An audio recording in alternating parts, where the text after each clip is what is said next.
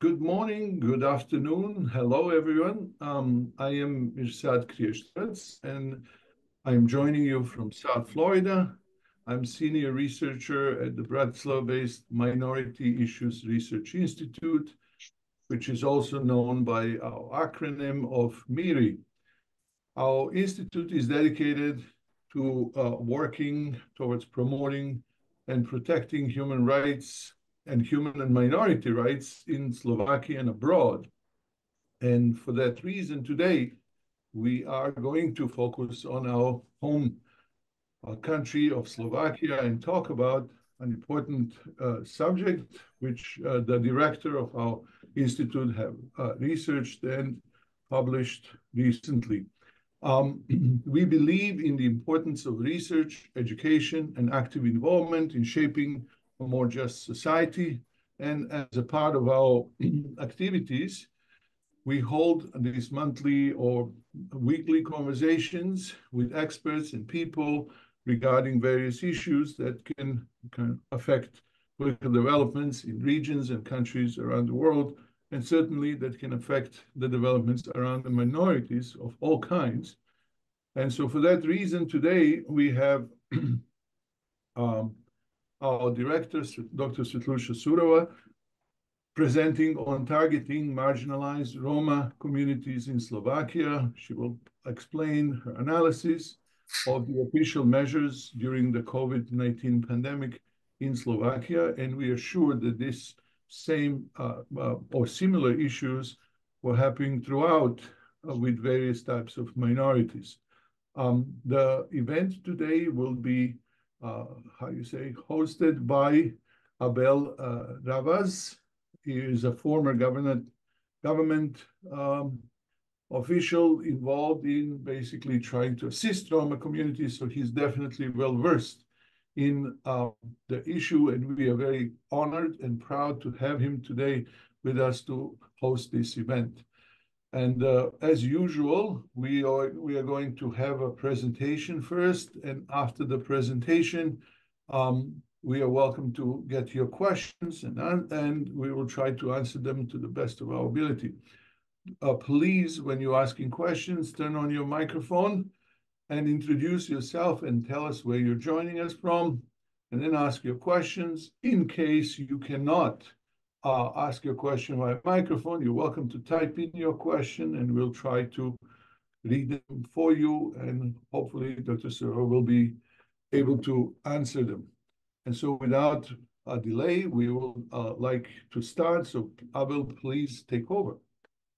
Hello again, uh, Mirsad. Uh, thank you for having me at today's event. I'm very happy that uh, we are joined by so many people today from all parts of the world, but also from Slovakia, which is the country that we are going to be focusing on today.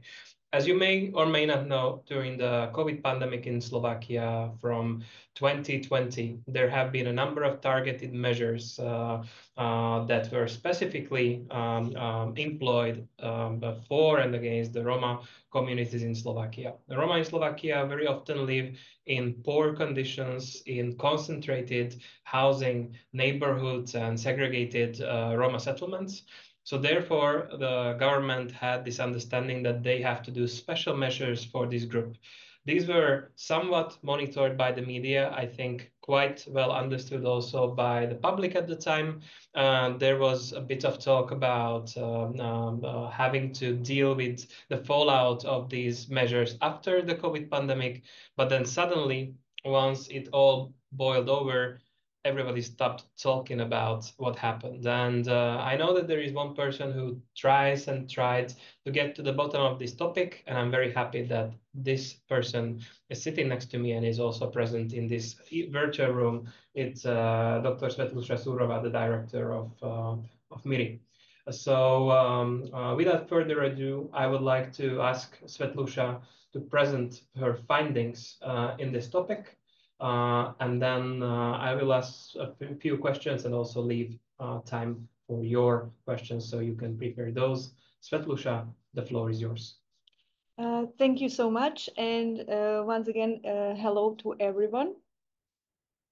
I'm very happy that I can see uh, so many colleagues from different parts of the world and also uh, uh, uh that I can present uh, findings from my two research on the quarantining Roma settlements during the COVID-19 pandemic in Slovakia.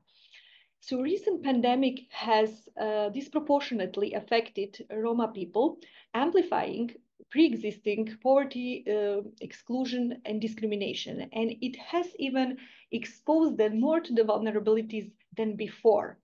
But instead of uh, uh recognizing these uh, vulnerabilities, Slovakia has deployed heavily securitized responses towards the marginalized Roma communities, which resulted in the militarized quarantines uh, of the six these communities in the first wave of COVID-19 pandemic. And throughout the second wave of uh, uh, pandemic, Slovakia was one of the very few EU member states, if not the only, that again resorted to closing houses, apartment buildings, streets, and entire settlements. Uh, so today, in my first uh, in the first part of this presentation, I will explain to you uh, how it has uh, um, all, uh, how this happened, who securitized uh, Roma communities, how and why. And then I will, uh, in the second part, present uh, the serious shortcomings of these official measures that, as was already said, specifically targeted these communities. So before I dive in, uh, I will just give you very brief overview of the impact of COVID-19 pandemic on Roma and their fundamental rights. And then I will explain the terminology that, that they use and uh, also describe the situation in which these communities uh, live. Uh, uh, very briefly, I will mention my theoretical and methodological framework. Uh, so not to um, spend too much time on that. Uh, as Mirsad said in the introduction, uh, the um, uh, studies were already published. One on securitization in 2022 and on uh, uh, the, the analysis of the official uh, acts, it was published last year in 2023 by Nelson Mandela University Press. And I saw also uh, dear uh, uh, chancellor of that university here present with us. So it is really an honor um, to have you here. So then I will uh, um, uh, mention only a few key points from these two studies. And for each part of the presentation, I will present conclusions.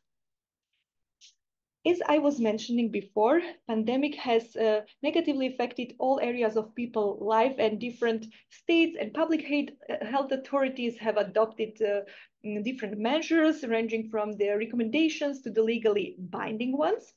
But not all citizens uh, were um, affected by this pandemic uh, to the same extent or treated equally by authorities uh, Roma communities have faced not only negative effects of this crisis, but also disproportionate enforcement of the measures taken to contain the virus in their settlements. And one of those, the, those measures were the quarantines. European Union Agency for Fundamental Rights has uh, recorded uh, serious problems with equal access to rights for Roma, but other minorities as well. And at the beginning of the pandemic, uh, in Slovakia, the then the then uh, public defender of rights uh, has uh, draw attention to the very problematic nature of closing entire settlements. And she has analyzed already mentioned military quarantines in the first way uh, and uh, came to the conclusion that the fundamental rights and freedoms of all these people closed here, which was more than 6,000 people, were violated. And in a similar manner, last year, uh, current ombudsman has uh, brought a statement about one quarantine from the second wave uh, of Roma settlement Galeoka, where he stated exactly the same, that the, the rights of these closed people were violated. And uh, he was actually uh, scrutinizing the uh, submission that I have filed uh, with his office. So if you are interested more in this, we can talk uh, in a Q&A section. Uh, um, a legal scholar, Roman Lisina, and also employee of the Ombudsman Office, which I think that he is also present today with us. So thank you also for coming. Um, uh, he has analyzed uh, one decree of the, that quarantine marginalized Roma community in the second wave, and he has compared the practices of the uh, health authorities in Slovakia to the fast and furious ride. And my research supports these findings and even goes beyond uh, illustrating how authorities have targeted these communities selectively and collectively.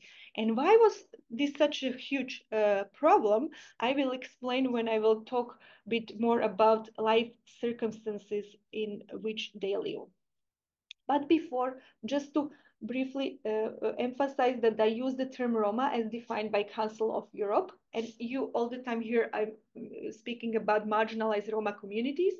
There are different definitions of this concept and various state institutions define them differently. But what is a, a common definition, definitional marker uh, of this concept is that refers to the uh, communities that live uh, spatially segregated with intergenerational poverty present. As Ábel already mentioned, uh, most Roma, not all, but many Roma in Slovakia live in uh, uh, difficult uh, conditions of stru structural discrimination, segregation, and extreme poverty. Uh, as I was just saying now that uh, many of them live spatially segregated, there have been recorded cases of segregation in um, medical environment, environments, in maternity wards, in the past, Roma women were even exposed to forced sterilization. And recently, European Commission has filed a lawsuit against Slovakia at the EU Court for Justice uh, because of the segregation of Roma children in educational settings. I cannot tell you the exact number how, how many Roma are in Slovakia, but according to the Atlas of Roma Communities, uh, and the, the publication uh, which analyzes this data and was, uh, uh, was edited by my dear colleague uh, Ábel Ravasz sitting here next to me. Uh, there are more than 800 municipalities with more than 1,100 concentrations. Just to be fair, and to show that I studied good methodology of this atlas, not all concentrations are Roma settlements, yeah, but uh, in this concentration, uh, Roma live. Uh, when it comes to the life conditions, they are very harsh. Uh, uh, many of these uh, people do not have access to drinking water, sanitation, and during the COVID-19 pandemic was almost next to impossible for them to isolate because they live in overcrowded dwellings. And also they did not have um, access to disinfection uh, products. So in my first study, I was looking who, how, and why, and what kind of issues and for whom securitize these communities, with what kind of result and under what kind of conditions. Uh, I, I am political scientist, so all the topics that I study, I approach from political science perspective, and I uh, always use new institutionalization, uh, institutionalism as an approach and securitization as an analytical framework I use in this study. Uh, and also I deployed qualitative research design, including a case study, elite interviews, and qualitative content analysis. Here suffice only to say uh, what securitization is, and it is a more extreme version of politicization. It, it is a process when some issues are um, uh, uh, um, um, approached in terms of security and labeled as existential threat.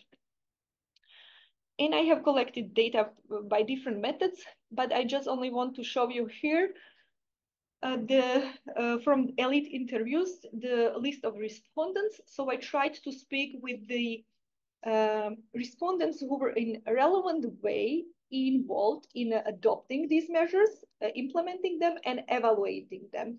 And if you look at it, I spoke with 26 respondents. Here I see some name that sounds familiar. Uh, so, um, and I'm very grateful for all respondents that they were willing to talk to me.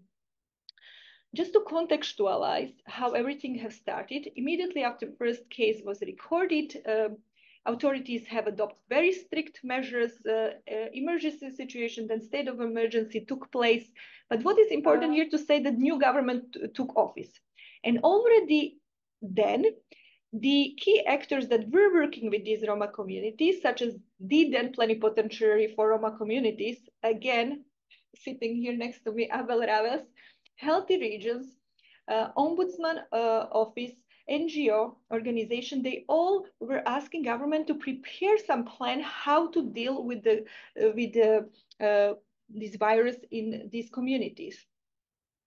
And what has the then uh, Prime Minister done? He, uh, Igor Matovic, he has invited his uh, um, colleague from his party, Peter Pollák, who is a member of European Parliament and Roma himself, to come uh, and to be a member of permanent crisis committee and to oversee the testing in these communities and mitigation. Also, government adopted resolution and start testing uh, returnees uh, to these communities. And then only five days after testing started, boom, they put it into the quarantine, six marginalized Roma communities, as I said before, more than 6,000 people with assistance of police and army.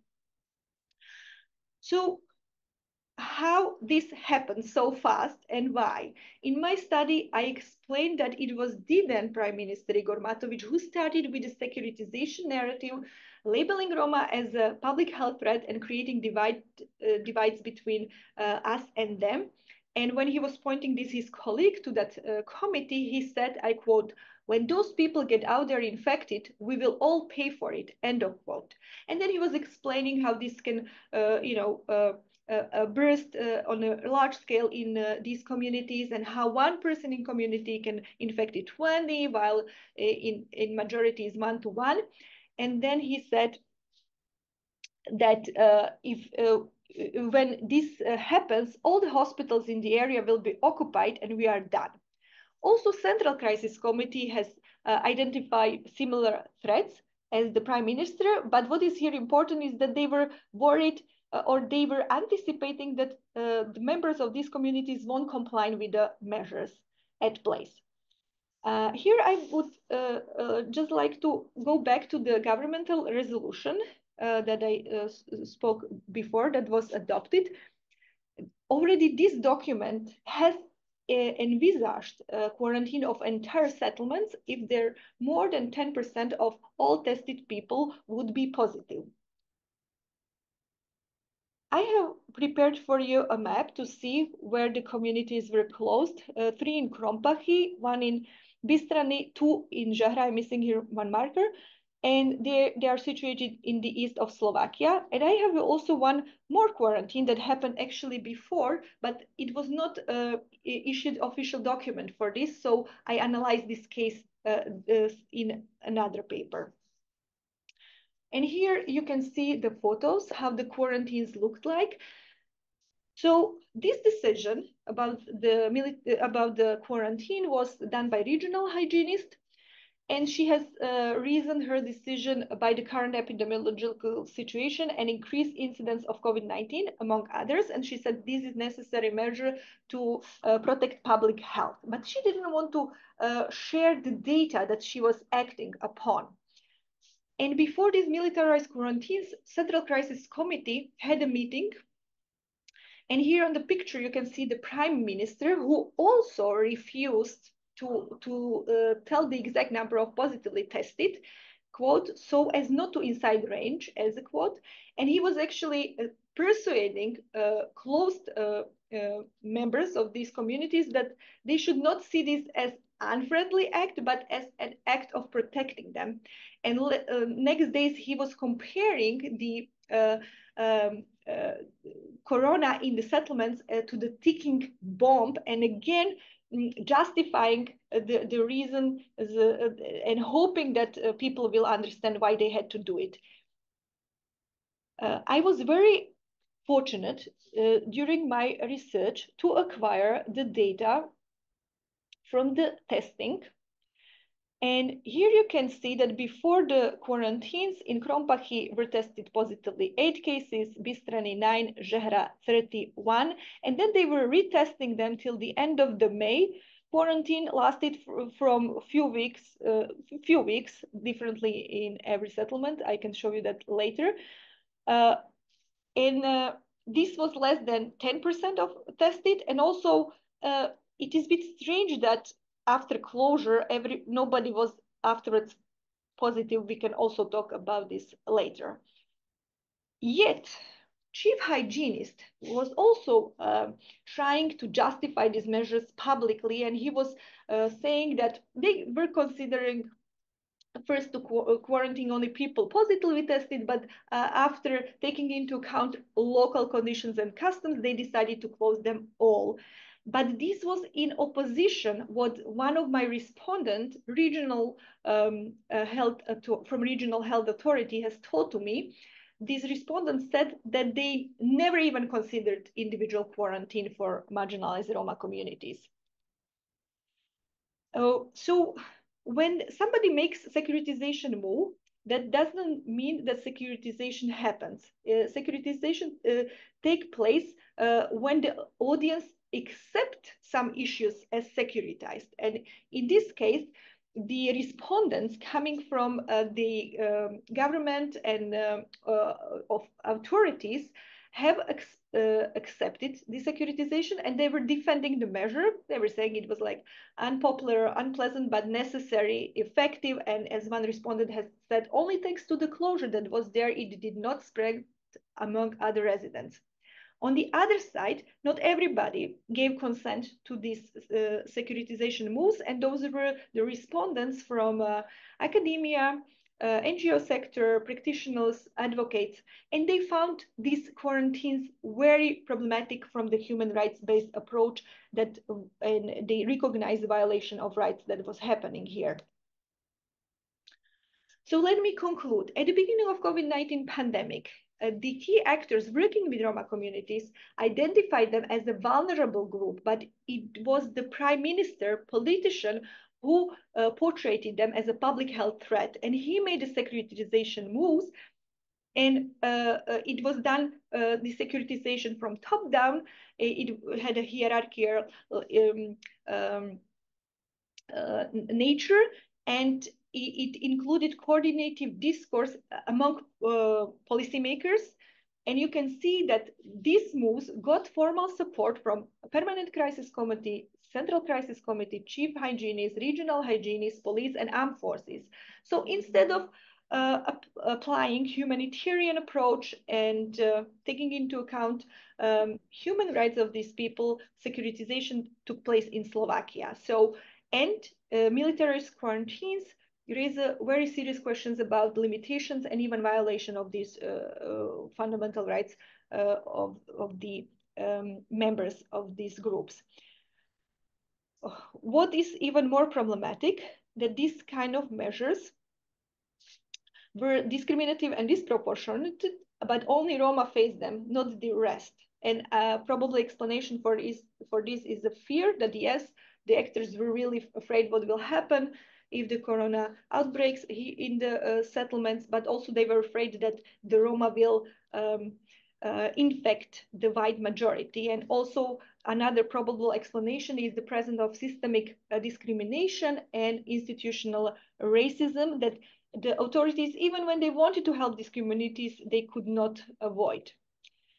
Um, so what we have learned from the first wave uh, uh, I will uh, illustrate on the quote from one of my respondents. respondents.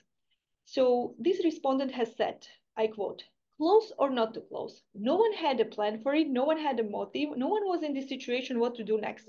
I think in this situation, having learned this, I believe that other measures would have been probably taken.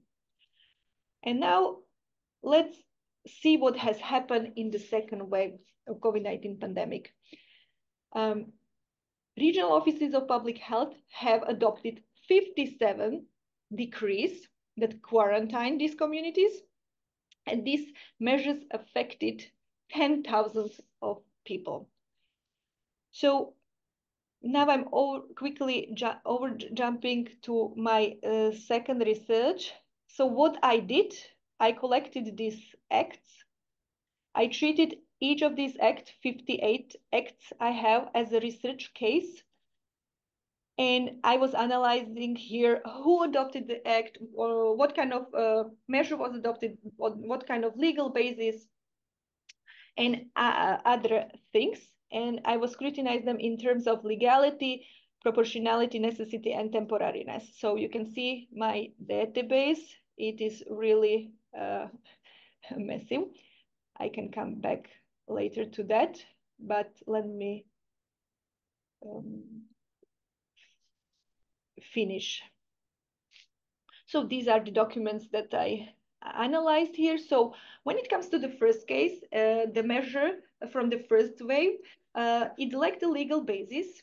Uh, regional hygienists can uh, adopt the measure to forbid the contact of uh, some population with the rest, but not during the um, uh, state of emergency or when it comes to the public health threat of the second degree. And as I said uh, a bit earlier, it was emergency state um, in place at that time so the uh, regional hygienist over uh, uh, overstepped its competencies and that's why the act was illegal. Also there were other problems with this act when it comes to the accessibility. I will just say that it was um, published on the website of the regional office of public health. And when it comes to the uh, other cases from the second wave. Uh, here, 57 cases that I have analyzed, they had the legal basis, uh, all the uh, was the same for all. But again, what what changed here is that uh, after these uh, illegal measures taken in the first wave, the legislator would actually what has done uh, it extended the powers to Ministry of Health, Public Health Authority, and regional offices of public health and in the way that they could have other uh, measures to the extent and for the time necessary uh, in uh, case of public uh, health threat, but uh, without any, uh, they did not ha had to um, um, fulfill some requirements, you know, so based on their own discretion, they could adopt these kind of measures and public health authorities and regional uh, also. But what has happened, and then the, um, the novelization of the law uh, canceled some clauses, and even a constitutional court has revoked some some uh, um, clauses, and the the Constitution Court has argued that uh, you cannot delegate uh, uh, by law powers to executive to uh, limit fundamental rights, that this is not in accordance with the principles of legality, legitimacy, and therefore is unconstitutional.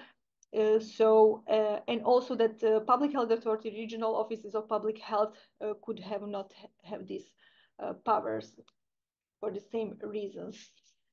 So the when it comes to the legality of all these 57 cases, they ordered, uh, they were saying that they act upon one law, they ordered a measure that the municipalities and cities should control the con should control the quarantine measures. And based on the law that they were acting uh, upon, they did not have this competence. They could not entrust somebody else with this kind of um, with the supervision of the compliance of the measures ordered, which is very strange, and I will uh, maybe in Q&A explain uh, more about this. Uh, also, uh, the um, decrease did not include uh, any justifications for these uh, um, measures, and as the here present legal scholar said, if they don't, in the case of absence of the justification, they are unreviewable. They said that this was because due to the COVID-19 disease, but nothing else. And all the all the um, measures were revoked by arbitrary decisions of regional offices of public health. So I'm concluding. So uh, in the first case, the uh, act did not have legal basis, did, was, not based uh, on the constitution or laws, the procedures were not followed. In the all the other cases, uh, was symptomatic for this decrease legal incoherence, uh, no justification or termination dates Yes, quarantine is the standard measure for the protection of public health, but it cannot be done without any constraints. It always has to be legal, proportionate, temporary, and open and transparent, cannot discriminate uh, or be disproportionate towards minorities. And yes, uh, Slovakia's EU member state had the primary competence to protect public health, but even uh, the most restrictive measures uh, have to be in, uh, in compliance with the obligations of the Slovakia in uh, terms of uh, human and minority rights. So last thing, uh, in Slo the, the biggest problem, uh, what has happened here, that the military is quarantined seriously limited or violated fundamental rights and uh, freedoms of, uh, of members of marginalized Roma communities. And this has happened in an formally inclusive national context of the EU member state. And those rights guaranteed um, uh, were not implemented for everyone. Thank you. Thank, thank you so much, Svetluša, for, for those opening remarks. Uh, I have a few questions of my own, but please do prepare uh, the participants, please do prepare your questions. I will leave the floor open to you very, very soon. My first question to you, uh, maybe with a comment also, that it is relatively obvious that the measures uh, chosen by the Slovak government are were, were problematic. Let me add uh, data from uh, just very briefly from, from another research.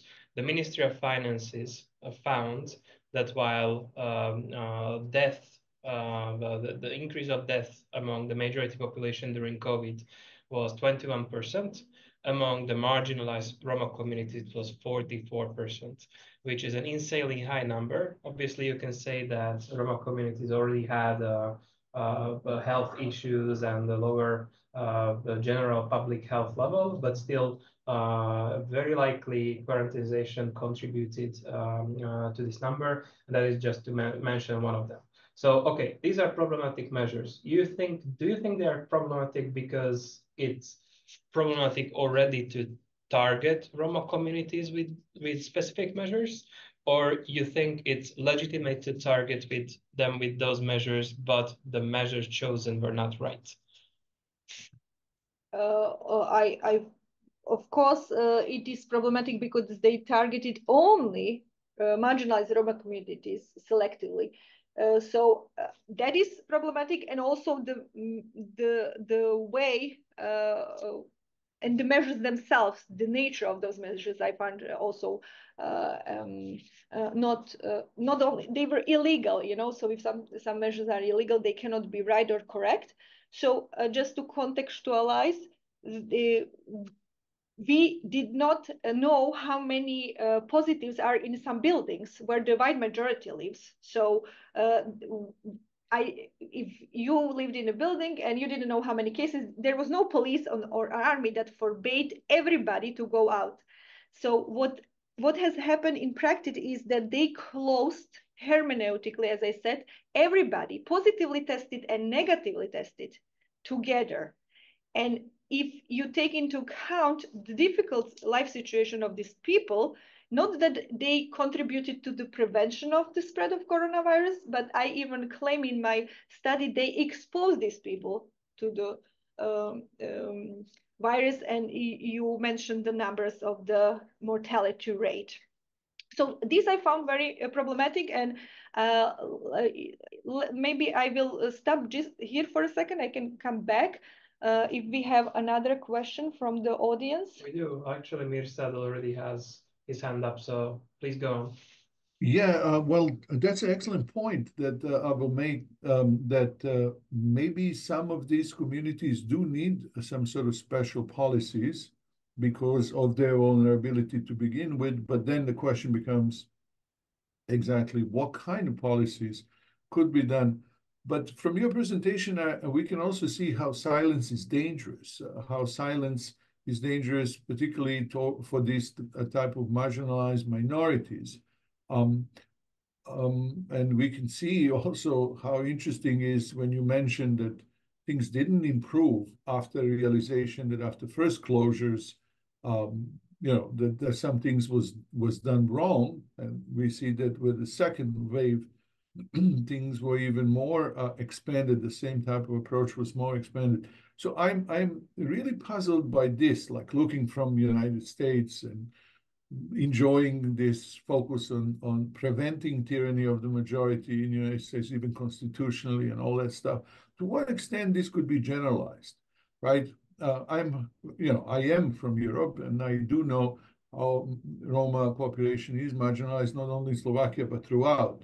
So, do you have any information on how the Roma population was treated in other countries? I understand that you're a political scientist and you're afraid to essentially talk about cases where you don't have a data, but um, it, it's just fascinating to see the silence about the issue. So, what was happening in the rest of Europe uh, with this type of marginalized communities? Yeah, thank you, Mirsad, for uh, questions. But first, uh, let me go back to the first what you were saying that uh, um, this uh, what I wanted to show to you here is that when once securitization starts, it's very difficult to stop it. That's why it's dangerous to label minorities as a threat, to portray them like that.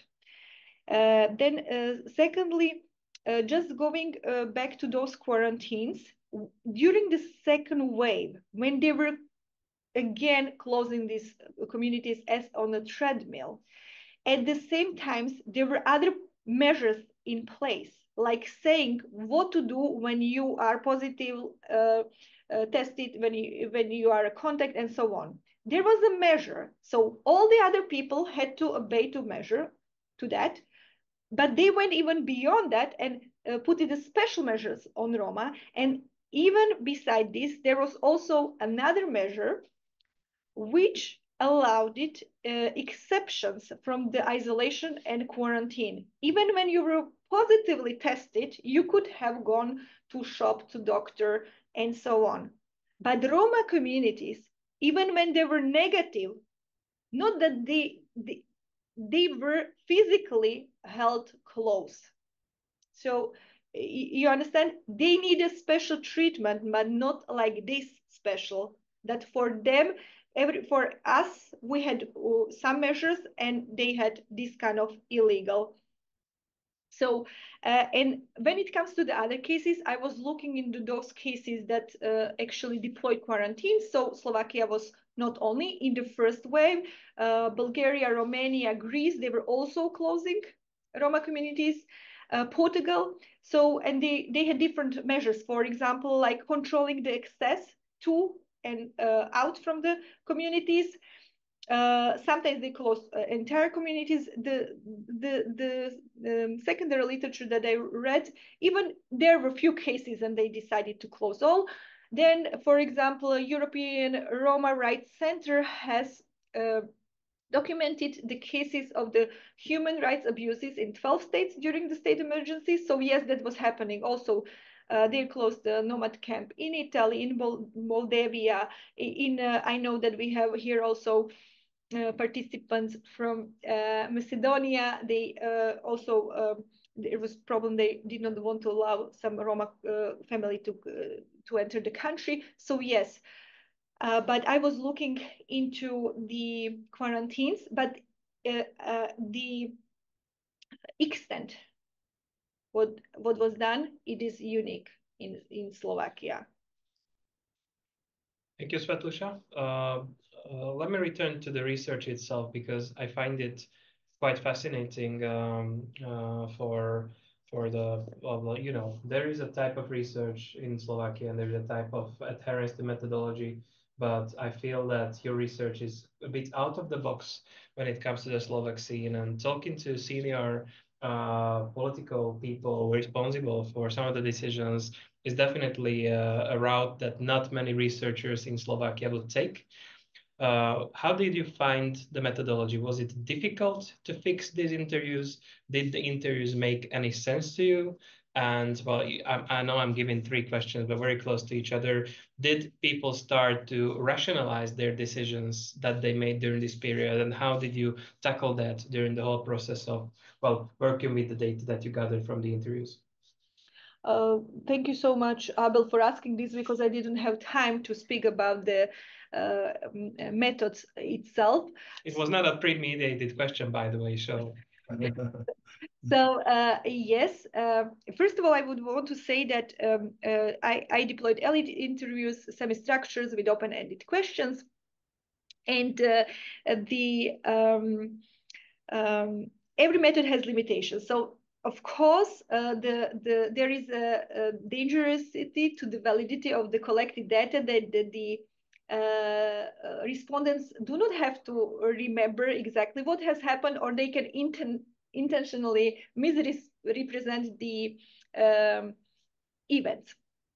So uh, to, to, to avoid this, um, um, disadvantage in the validity, I uh, deployed uh, triangulation strategies. So all the data from interviews I analyzed uh, in the perspective of other empirical data gathered, and I had uh, asked information from all state uh, and public health authorities. So everybody hates me now in Slovakia because I sent so many requests on the free access um, um, law to information.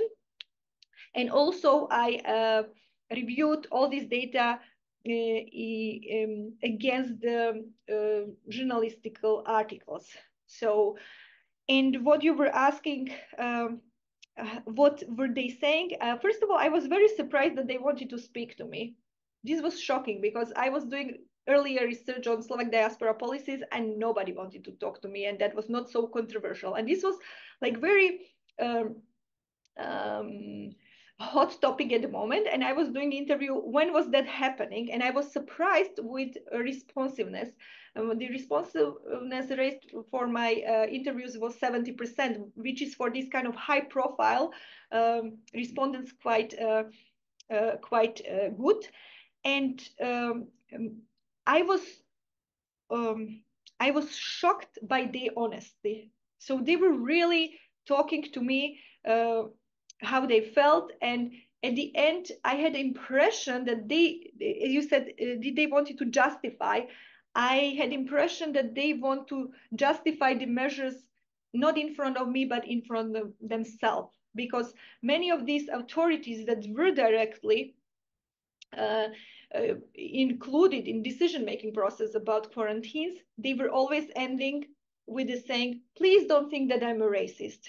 I'm really not a racist you know it was necessary. So uh, uh, this i uh, got got a lot. So but as i'm saying i think this will i don't think that in uh, future research i i this will be possible to actually approach these people and that they they would be open about their motives be behind uh, decision decision taken. And then actually i continued with my research and then i was sending them further questions based on the free access information uh, about the second wave uh, to regional offices of public health. And there was already not such a good response rate. Some send me data, some not. But what I have noticed that all the answers were the same in form. So like copy paste, just different data, but all the structure, everything. And then uh, in the after Corona was almost uh, finished, I was just uh, checking the facts. You know, I was uh, calling them by uh, by phone or emails, double checking and asking them things, and then then it was already um, not such a good um, responsiveness, and they were really mm, sensitive and. Uh, they were even uh, some of them were aggressive so they were like angry but you know it was again we have to take context into account the war in ukraine started after pandemic, everybody felt, you know, uh, with uh, shaken, a lot of crisis we had here. But then they become nervous about like why you have to do this research. Who cares about that? you know so uh, and that was already uh, over but i think that after they realized i started to write about it already published something so then it was already not so you know, they were not so willing to share uh, transparently uh, the the information with me. Uh, thank you, Svetluša, for the answer. I have one more methodological question to you, and it is about uh, the second uh, part of your research. The first part was mostly based on the interviews that we just discussed at, at length. The second part of your research was more based on the analysis of all the official documents that uh, were the basis of the quarantines locally. Well, you you made the statement or the claim that these were mostly focused at Roma communities, but if you if you read the text of uh, of those measures, the word Roma is not really mentioned there. Uh, so how do you know that these were Roma communities? Obviously, I'm provoking. We all know that these are Roma communities, but what's your methodology for knowing that these are Roma communities? Yeah, thank you, Ábel. Of course, this is very important because this was one of the, uh, just to go back, uh, when, uh, one of the threats that I have faced after everything was already done, database and uh, paper was prepared. So uh, some uh, people from regional office of, of, public health said that they will sue me if I publish this research because I'm claiming that they targeted Roma or marginalized Roma communities and they have never used the term Roma in their measures. So it's they never closed the Roma. They have this kind of they closed positive people who were positive. This is their uh, argumentation. But how I know? Uh, at the beginning, I said that I spent few days in one quarantine uh, during the second wave of COVID-19 pandemic in Gleoka. I was there and I uh, saw that it is not going it is not okay what they are doing there and i wanted to file a petition to ombudsman and then i had to open the measure how how i actually started to create database. And when i was searching for this measure um, I, uh, I found it and then I was seeing that there are also a lot of measures that they're closing uh, some kind of uh, geographic places, you know, with the with not so known you know big cities or so that is not so familiar. And i was looking like what kind of places are these? So what they did they did not say that we are closing roma but they wrote exactly the numbers of the houses buildings or streets. So they mm, located them geospatially. And as i was looking to that i said okay i have to check other measures. So i went through all the measures and i have never done research on roma communities but I noticed that these are those marginalized Roma communities based because in other measures you didn't have this kind of uh, geographic specification. And then I opened Atlas of Roma communities and uh, uh, I st started to reference what they ordered, whom to close, and uh, and then I matched the geographic location with the concentration uh, from that atlas. So and uh, since uh, I never worked with this, then I uh, called Ábel Ravasz, who is who is former plenipotentiary and has worked a lot with this atlas, and I asked him if he can see check my C database and check if this is right. And okay, that was definitely not where the question was going, but I find it very very important that you are working with data that actually goes beyond the official text of the government statement. So that that that I found to be very uh, important. Okay, maybe. How how how did you kind of how did you responded when you saw uh, Dr. Surová's findings? Well, I was not surprised. So uh, it it uh, Svetluša mentioned it that let me just switch off the spotlight while you are working like that. Yes. So so I was not surprised by by Svetluša's findings. Uh, Svetluša mentioned between the lines that uh, I was plenipotentiary as uh, the COVID started, but uh, I was uh, removed from the office by the incoming government almost immediately.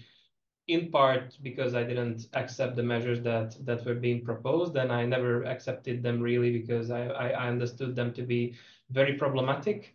And I'm happy that uh, Svetluša put in the research so that now we can, um, you know, state with a complete uh, uh, confidence uh, that uh, the measures were directly targeting Roma communities. Um, uh, these were measures that were systematic and these were measures that were discriminatory. And I think that this research gives a good um, well, point of departure for further investigations of maybe not even just research type which I think are, are necessary because research is important, but uh, but it's it's not everything. And let me come to Svetluša with with with a question that follows up on this, uh, which is that how was uh, the response um, uh, to your publications in Slovakia? Uh, well, let's start with you know the the general public. Was there any kind of reflection? Is this something that the people are talking about? I understand that didn't publish this in tabloids, but in you know scientific journals and uh, mostly in English. But was there any kind of research coming back to you? What was the feedback? Uh, thank you so much. But uh, before I answer this uh, uh, question, uh, I'm sharing with all of you the database. So how I knew that these are marginalized Roma communities, you can see for yourself. So here, here I populated this column, affected persons, exact wording as specified in the act. So you can see, so the regional hygienist said all person residing in street Hornatska. And then I open this data here with asterisks. You are from the Atlas of Roma communities. And here you can see that the there is a concentration with the same name. So street Hornatska. Yeah, so they did not say Roma, but in Atlas, uh, there is this concentration. And then you see uh, all person residing in street Društjana, you know, they are match. They are uh, almost not all are perfect match. Uh, something I had to still pick up the phone, you know, investigate uh, how and what. But most of the affected persons uh, uh um, um, indicated in decrease uh, ref referred uh, to concentration from Atlas of Roma communities. In other words, they themselves used Atlas of Roma communities to close this communication. So it was other way around, yeah. And I have to say, there was one or two measures where they said Roma settlement explicitly, and there were a few um, uh, decrees that I analyzed that did not say Roma communities. They said actually whole town, but after investigating, they said whole municipality, but only Roma were close, not white white people there. So yeah, but usually, uh, usually it is straightforward. So you can see also here which streets. So you see here, they exactly, they put in the numbers of the buildings, eh, the numbers of the houses. You know, you see the residents of residential units, number 20, 30, and 32, Orechov Dvor, uh, in Atlas Roma community, Orechov Dvor. So, you know, and other measures uh, were not uh, um, so exact when it comes to geographical location of the people who should stay in isolation and quarantine. So let's let's go back to the question, yes. Lucia, if you don't mind, about the response, so that yes. I can then yes. open the floor for yes. other questions. Yes, thank you. So besides publishing one uh, scientific article and a chapter in a book, I also published the reportage from the quarantine that I was in. I will show you here. I have. Uh, photos. So I spent three days uh, uh, in this uh, Roma community of Gleovka documenting this quarantine. I got invitation actually from one respondent who was uh, director of one organization and she called me and said come to make write a good practice article and i was doubtful about that but anyway i went there and what I found, it was not good practice, but again, one uh, of uh, illegal quarantine.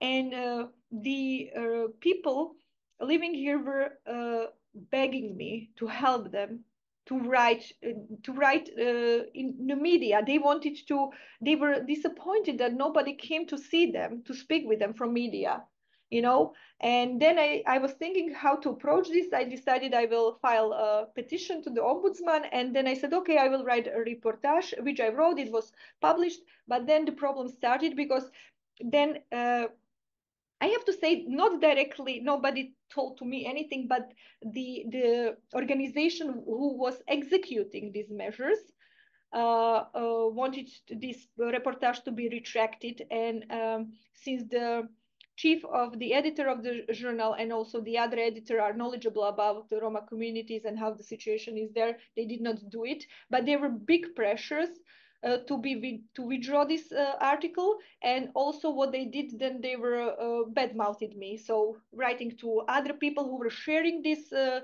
uh, reportage uh, that not to do it and they were like having some kind of personal insults but what was funny that the, the reason why they uh, asked to be retracted they said uh, that because i am uh, from serbia and that all the serbs are liars and I'm not even the Serb. And it was funny to see that the people who worked with the most vulnerable, socially excluded communities are racist themselves, that they use this kind of type of argument to attack because the editor said, uh, what is not true? Give me the sentence, give me the paragraph, give me the, what factually is not true. And they could not say it. So what they did actually, they said like she's from Serbia, you cannot trust Serbs. And but another thing was also interesting that the human rights activists were actually angry on me after publishing this re reportage, and they were uh, upset that it was too too soft they wanted something stronger because that reportage was balanced. I did not put any uh, any of my thoughts there, you know. So I just documented who said what, uh, negative, positive things. Uh, but they they did the human rights activists uh, uh, did not find this like a good approach. They said that I should have been uh, more, um, you know, I don't know, um, vocal about what is happening there.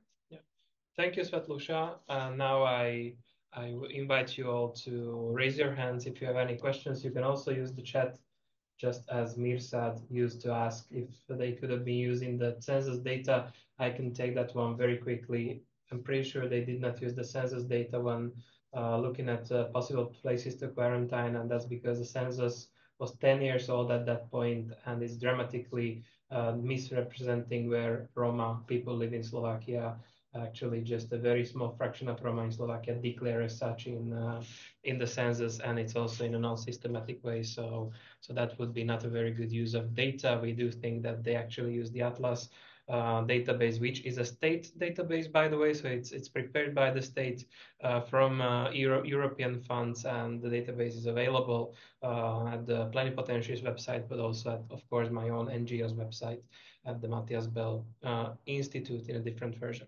All right, so the floor floor is really open. Please do raise your hands and please do ask uh, questions from Svetluša if you have any. Okay, while they are thinking, let me let me target you with another one, Svetluša. Um, uh, I asked you about some kind of a public response, but was there any kind of uh, government response, and not just only to your research, but also to well, just what happened in the field. So let me phrase this question in another way. Is, is there some kind of a change in the thinking of the Slovak government uh, towards the issue of uh, quarantines? Uh, if there was another uh, pandemic incoming, would we be seeing the same measures? Um, and if not, why not and what would change? Thank you, Ábel. Uh, um, it's difficult to answer. I hope we won't see anymore these kind of measures because they were unprecedented, as I said, and to violate uh, rights for almost 50,000 people, it's, uh, you know, um, uh, not only pro problematic, but as my one my respondent said, it's scandalous. But uh, I did not have so many um, um, feedbacks from the governmental officials, only from the office of the plenipotentiary few. And uh, they were more um, kind of uh, uh, watching what, what I'm writing, what I'm saying, and they were trying to again make some positions that they were also against that. And you know, uh, I don't even know how to assess this uh, what what was coming from them because on one side I clearly saw that they were um, mm, against this kind of approach, but on the other hand, they were giving me uh, argumentation why it has has happened, and you know, it in in in some sense it looked like they would be defending the measures. So, uh, yeah, it is I, I don't know even I was I don't know in in uh, one sentence how to answer it because it was not so clear um, what was actually uh, the point of that feedback on my work from them. I could not read it good, you know, but uh, uh, of course uh, I, I can say um, as anecdote that now in a parliament is prepared draft uh, no the, the, um, the, declaration resolution about the violation of uh, rights of Roma in Slovakia. And actually the party from which was the prime minister main securitizing actor and who actually uh, gave a green light to all these quarantines uh, his party is proposing this resolution. So on one side during the pandemic they were closing them illegally and nowadays they fight for roma rights. So but what uh, if i can say from uh, a researcher point what was uh, surprising to me to see that those actors who were working with marginalized roma communities and helping them that actually they were the main executors in the practice and that they went with this and one respondent was saying like but you know we are humanitarians so we don't look if there are some violation of rights or not. We cannot look at that but it's not that they did not look at that because when i was in this quarantine in Gleovka, the people working from them were actually lying to Roma communities. You know, they were saying like, for example, the I was there present and I have recorded. The person comes and says, uh, why I cannot go out? I'm negative. Why didn't give me paper that I'm negative? Why everybody, even positive Slovaks, can go to the shop? Why we cannot? And they were they were saying to them like, you were negative two weeks ago. You know, after testing, one minute after testing, you can be. And this is this was not okay. And these were the people working with. And so I found very shocking uh, uh, about this. Who were those supporting structure structures? of this injustice. And that is sad because these are the people I, I think that the Roma believe the most and put their hopes in it. So yeah, it's it's not a very happy uh, you know answer, but but but I get it. Actually, we have a, a question coming from uh, Roman Lisina, uh, who's one of the other uh, people who are working with this topic or have worked with this topic after after the pandemic. So Roman, please do take the floor. Thank you very much. I hope you can all hear me. Yes. Okay, great. Thank you very much. Um, I have actually one question, uh, and that is uh, how strong or what role did uh, one one kind of an argument play in justifying these these measures uh, when you talked with all the uh, stakeholders? And that is uh, many times when dealing with these kind of cases, um, many, many of the respondents uh, were talking about all the humanitarian aid that the Roma communities were uh, provided with, uh, starting from food, uh, water, uh, sanitation, and so on. Um, and um, in general, I, I, really appreciate your your research because it has more of a conceptual view, um, and um, uh, it, it, shows the the whole scope of, of the of the measures. Um, but um, many of these people uh, pointing at the humanitarian aid might have been struck with the with the symptom of not seeing the forest because of the trees. Um, so, so, my question is, how important or how how many times did the stakeholders pointed at all the uh, humanitarian aid uh, provided to Roma communities that was supposed to justify the the measure itself, right. or how how important role did this did this play? yeah. their response. Uh, thank you so much, uh, Mr. Lisina. Once again, I appreciate that you, you took your time. Uh, well, uh, only those coming from uh, practice uh, who were involved in providing humanitarian aid use this argument, not the others. For example, um, respondents coming from NGOs, being Roma themselves, they were critical about this. So uh, yes, I know that even in uh, when I submitted the petition and in the statement of ombudsman, he wrote that how you know they were arguing uh, in that Gleovka, the local city um, uh, uh, pe people coming from the city, they were saying like we closed them, but they did not need it to live out because we brought them food and water. But uh, you know, so if you give to people to uh, eat and drink, is this okay to on force hold them somewhere to violate their rights? I don't think so. But this was the some people, as I'm saying, they had this kind of uh, justification, but I again I think more in front of themselves than the others, you know, to justify like okay we, we help them. But I went, for example, I went to marginalized Roma communities I, and I did the focus groups uh, uh, there and interviews and those people, for example, had completely negative opinions about this aid. They were saying that they were, first of all, at first days it was difficult, they didn't have it. Then they got the food that they didn't like to eat. Then they were complaining they didn't get the meat. Then they were complaining that there were cases when uh, somebody overtook of this uh, humanitarian aid and was selling the products for higher price than it was supposed to be. And, you know, so uh, I'm finishing uh, that uh, article uh, where I am giving the voice for uh, to the people who were closed, and then I will uh, sh share more and speak. But for for uh, what I heard from those people, they were not so um, they were not praising humanitarian workers. Yeah.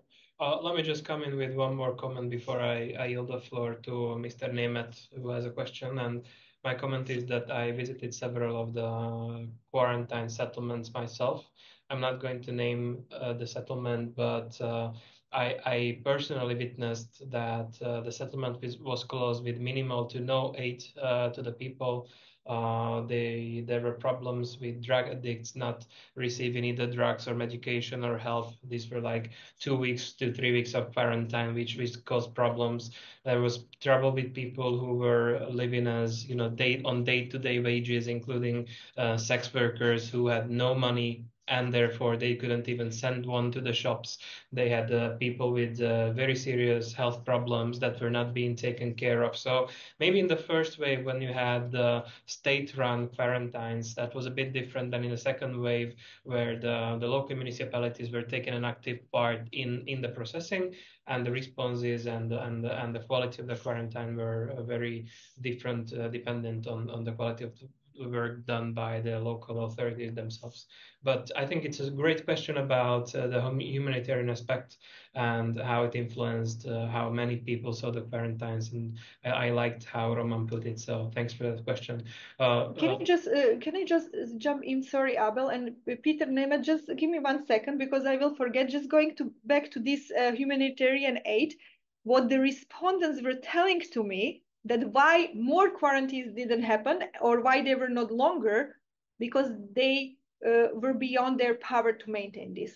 You know there was not any more people who could uh, uh, uh aid them help them in a humanitarian way and it was expensive. So after they found out that that costs money for uh, creates costs for municipalities uh, in terms of not financially but also they had uh, they had to um, allocate the resources, human resources to do it, then they realized this is not an, anymore, uh, you know, they cannot continue in this way, and then they uh, canceled quarantines. Okay, thank you, and thanks, Peter, for your patience. Uh, the floor is yours. Uh, thank you very much for that. Can you hear me? Yes, yes. Yes, thank you. Well, first of all, uh, I would like to uh, thanks for invitation. Uh, I'm here on behalf of Ms. Orgovánová and Roma Institute, uh, former plenipotentiary in the previous years. And I just, uh, uh, Ábel, you fully answer. I do not have a question. I have just a comment. But after your comment or or addings, it's not necessary from my side to to add something more because I am fully fully agree with you what you said. I've been present personally uh, as an organization, as as a as, as a human being uh, during a COVID period uh, uh around that settlements uh, with or without quarantine, and uh, I'm completely agree with what you said as a comment, and that means that humanitarian aid definitely was not sufficient in that times with a lot of problematic areas and with a lot of almost traumatic situations happening all around in that time one comment which I would like to to underline is that uh, this situation really extremely uh, clarify how it is uh, easily possible to identify a group of the people behind on the on some fact uh, doesn't matter whether it is ethnic or social uh, uh, exclusion or whatever else and how it's possible to manipulate standard rules and regulations if you do not have a, a precise plan for for implementation. And uh, participation of the military during that uh, quarantine uh, uh services or let's say let's quarantines uh, as itself uh, was a significant milestone for me how how it is how, how it cross all the lines, not just human rights lines, but also legal lines in Slovakia. And it was never correctly explained with uh, some kind of argumentation you used in your uh, presentation. And thank you very much for that. It was very nice uh, to hear that, that uh, really we need strict rules and regulations, crisis plans, uh, where uh, the vulnerable groups of the people, which are really the most, in, in the most, in hardest position or in, in the biggest dangers, where we need to count uh, count uh, especially on that group of the people. Because from my perspectives uh, the roma community during pandemic was really a tester for a general community. How to act what to do uh, how we could manage some kind of the group uh, how we could use the military services how we could uh, I'm not even talking about the testing, which was not a voluntary one, but they were really forced to be tested, etc., etc. How we could manage a humanitarian crisis, etc. So, so really, this situation remind us a lot that we need to have very strict uh, legal framework, legal regulations, uh, laws, and uh, crisis plans for such kind of situation. And uh, unfortunately, it shows also that uh, uh, humanitarily the state or the district uh, institutions were not capable uh, after the decision to close the, to close the settlements to they were not capable to to support them with uh, with appropriate uh, humanitarian aid all included which you mentioned abel. Sorry for that. I do not have a question. It was just really a comment from the field and thank you for the no need to be sorry. It was a great, uh, great comment, and maybe Svetluša would like to react to that too. Yeah, uh, Peter, thank you so much. Uh, you, you summarized uh, a lot of problems that I didn't have time to touch upon, but just what last what you said uh, uh, with the problems during the quarantines. Uh, in the quarantine, and Ábel was also mentioning not only that they were not prepared, but the the worst what has happened. So they closed them to protect their right to health and then these people do not ex access to healthcare. Mm -hmm. In the uh, Gleuka where I was, people could not get the doctors to prescribe them medicine. And why? Because many of them do not have uh, health insurance. Or they did not visit the doctors for many years, you know, and this was even in the ombudsman statement. It was there confirmed. So when they needed something, because it was not that the doctor was coming to the settlements, they were closed there. And, you know, it is a bit uh, uh, beyond the, the decency to expect that the, these people uh, can get medicine being uh, living somewhere on the outskirts or outside of the municipality and, and you know so a huge problem. So not only their um, human rights you know to residency and movers movement was were violated but also right to life right to health as i'm saying they were exposed more to the to the virus but also the other rights was was was abel mentioning right to work. Nobody is emphasizing these people are working in in in informal economy even uh, the formal. and informal and also yeah. uh, right to education. 70% of the uh, children from poor marginalized Roma community, according to EduRoma, did not have access during the first uh, wave of COVID-19 pandemic to education, distance, because Slovakia also uh, um, uh, deployed distance learning at the time. There's, many, many... Sorry, there's actually also a court decision already that uh, the state did not do enough to ensure that uh, children had had access to education during the COVID pandemic. It's uh, it's a ruling for a, certain Roma community in eastern Slovakia, Jarovnice. Uh, there is a, a single case that the court has already ruled for, but I understand that if they were be going to other cases, the ruling would be much the same. Uh, the right to several different uh, types of well, you know, to to to to to work, to education to health and all that were absolutely ignored by by the pandemic uh, uh, decisions. Before before uh, just going to uh, other questions, let me finish because uh, I did not have time to uh, talk about this. So as you Peter said, like we have to do better, but there are constitutional legal rules in place but they were not acting upon this. So if the state authority does not respect their own laws, how we can expect that the people will comply? You know, this I, as a political scientist, I find this very problematic, and uh, uh, authorities have to understand that.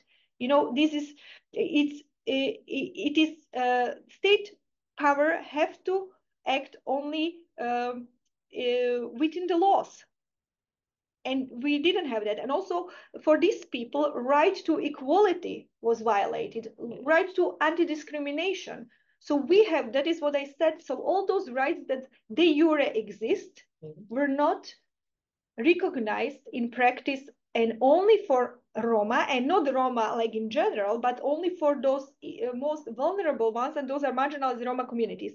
And you also, Peter, mentioned like how this how was this possible? And uh, when they ask me how was this possible, and I open always that my the uh, database, and then you can clearly see where are the concentrations. It was possible only because they are spatially uh, segregated, because it was possible to come from one side of the settlement and uh, the other and just to close them. Because if they would live integrated, you cannot do this kind of measure. And that's why we have to uh, do much uh, more uh, to end this segregation. So unfortunately, it's my moderator's duty to to say that we are entering the last 10 minutes of the discussion. We have two hands up, so let me bring in Mirsad and then also Peter. If anyone else has questions or comments, please do raise your hands now. Mirsad, the floor is yours. Uh, please, Peter, maybe have a follow-up. So Peter, go ahead, and then I can ask after. Yeah, uh, thank you very much. And just very shortly, I am fully agree with you what you said, and I am really happy that such kind of uh, scientific research uh, happened because we need the data, we need the base evidence, and uh, for me, this meeting have a extreme perspective for a future because we learn how even the constitutional rights, legal frameworks, or the legal rules could be obeyed or or delayed or or or somehow turn around in a critical, very critical situation. I'm not, uh, uh, I'm not apologizing that. I'm absolutely agree with you what you said. But in in a moment where we were not able to apply any kind of uh, crisis rules or crisis management, of course these things happen. And this what is strongly reminding me that especially in a critical situations, we of course, we means as a state, but the state is never so flexible as the other, as a uh, educational or, or institutional or NGOs organizations. So we need to be prepared that this, what we saw and what we really lived for two years could happen. And we need to, to be prepared to give the crisis plan to any competent institution which were lost in that time and which really do not have any idea how to how to how to approximate the rule of law in daily reality. And that was the biggest problem. I remember very well the discussions. It, it was a discussion around 10 or days or two weeks whether the health uh, regional health uh, institutions uh, has the right or do not have a right to to proclaim the quarantine. And and there is no legal framework. I know that. I agree with you. But we need to be prepared for that. And as a conclusion for me of that COVID situation was that we need to focus especially for the uh, people in a very vulnerable situation in poverty excluded segregated. Yes because we could we could even we could close petržalka which is very typical part of Bratislava, but uh, but it was non-Roma uh, inhabitants living there, which have enough skills to protect themselves, while these people did not have enough capacity, skills, proficiency, experience, or whoever, whatever else to to defend themselves. And that's this is also part of the problem. But sorry for being too long. And but yes, it was just a comment, not a question again. And thank you very much, uh, Mr. Krie Kriještorac, uh, for for the floor. Okay, thank you, thank you. Yeah, I was, I was just to say, uh, you know, out of the respect for my uh, basically home institution and our home country of Slovakia, which I love more and more every day, and I respect it very much, and I hope one day to maybe even live in Slovakia. I'm trying to be nice. I'm trying to be very reserved and all this stuff out of the respect and and uh, out of love. I'm Slav after all too, and uh, my anthem was "Hey Slováci," right? So um, I love it. But uh, Peter brought a, an amazingly important question. Not only that things fall apart across the lines when military got involved in stuff, but it is also I have to call my colleagues. What is the role of academia? I am coming from United States, and there is an onslaught, global onslaught on academia, essentially to silence academia in various ways, and uh, essentially sideline sideline all this type of work that Svetluša have done, um, so that you know conversation can be basically carried by the media, which media is we all know, starting from sometimes in 2002, you know, with that whole story of, of embedding media with the government officials and stuff, it basically it, it, diminished the importance of it in a democracy. So now it's strange, but the academia becomes perhaps the last bastion of the rule of law. The academia becomes the last bastion of the, you know, highlighting issues like this. And so to me, I, I had Svetluša in my human rights class that I teach here at FIU, which is one of the largest universities in the country.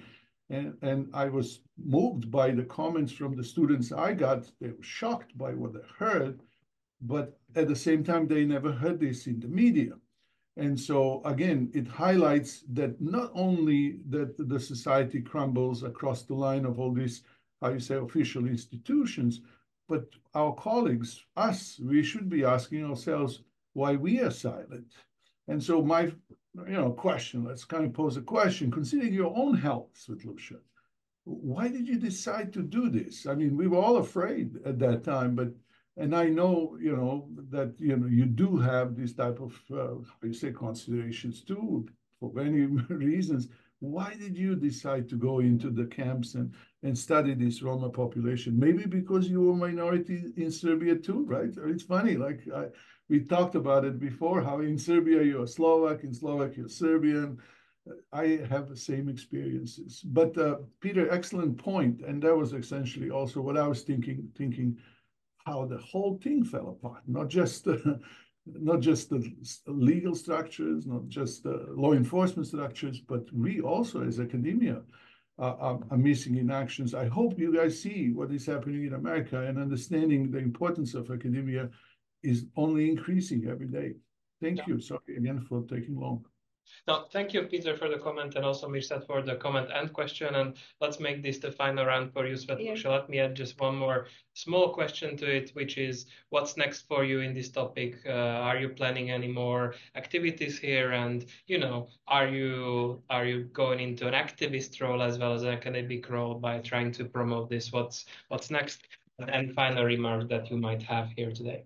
Thank you so much uh, for all three of you. So going what Peter said, about this, uh, there are no procedures, you know, how to do this during the crisis, but actually we have, we have the rules, what to do in the crisis situations. They were just not uh, uh, abating to them. And instead of these authorities to act upon the law that specifically said who should do what in the times of crisis, they do something completely illegitimate and illegal and then even extending they extend their powers and i have to say that uh, uh, the constitutional court was very precise saying that you cannot executive cannot have the power to limit fundamental rights this belongs only to the legislature you know. So and um, uh, what Mirsad was saying, uh, why I decided I uh, first of all I didn't know how big research will be that it is it is lasting four years and still not at the end. I just wanted to analyze in the first way. I didn't have a uh, I could not even anticipate what will happen uh, in the second way on larger scale. And why I went to the quarantine uh, because I got invi- invitation and I was really curious. And of course, I was scared because at that time we did not have vaccine and I'm immune, immuno uh, uh, um, uh, patient. And of course, I was afraid. But once when I was there and I heard these stories of the people and I saw what kind of injustice they are going through, my fear uh, just resolved. And you know, I I tried to do my best as a researcher, as a, somebody who came to document to help them, and uh, going to Ábel's questions, what's next? So besides doing research and uh, publishing it, fin finishing still the study uh, from uh, um, uh, where I record dissenting voices from from uh, Roma themselves about the quarantines. I also try to make some change uh, um, going to different international forums where I um, uh, speak about this problem and uh, uh, the, the goal is to get some kind of apology maybe from the uh, government of Slovakia towards the Roma and to um, uh, maybe even remedies for them. So th th these are the plans for the future but uh, uh, of course, the the goal, me as a, researcher and also as a member of minority, is uh, inclusive future for all of us. Oh, that's that's some lovely last words for from you today, Svetluša. Very very nice, and thank you for not just your presentation today, but for all the work that you have done over the years in this topic. And I hope uh, we can present some more of it uh, in the future. Uh, thank you all for being in and for your questions and also for trusting me to guide you through today's event. And I yield the floor back to Mirsad for maybe some final remarks. Uh, well, no, I, uh, I have no final remarks. It was amazing and interesting presentation. Uh, we appreciate all of you coming and sharing this uh, time with us. We promise We'll bring you more. I think we have rights with Lucia next. Uh, the conversation is on Nigeria, right? And so I hope you all find it uh, interesting and join us. And I hope that you will um, spread the word about the good work that uh, Miri is doing. Miri, based in Slovakia, in Bratislava, Central European country. Thank you again and have a wonderful day, everybody.